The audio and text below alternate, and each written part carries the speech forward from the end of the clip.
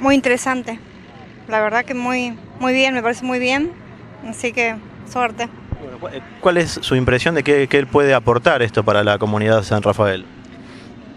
Mira, creo que muchas expectativas con respecto a eh, en el tiempo que se demora todo el- lo que se está haciendo, así que creo que es muy, muy alentador para toda la gente de acá. Ah, pues me parece que es muy interesante que la ciudad haga este tipo de eventos porque significa que están trabajando en pro de la sociedad y de mejorar los mecanismos de atención a los ciudadanos. ¿Hace mucho vivís en San Rafael? Hace siete meses. Bueno, ¿Y qué le puede aportar? ¿Qué te parece que, que puede ser positivo este tipo de tareas para la comunidad? Pues principalmente mejorar eh, la movilidad en caso de accidentes. Tengo entendido que esto es para conectarlo con el, con el hospital, así que pues nada, para facilitar y para cortar el tiempo de transporte de los pacientes. Bueno.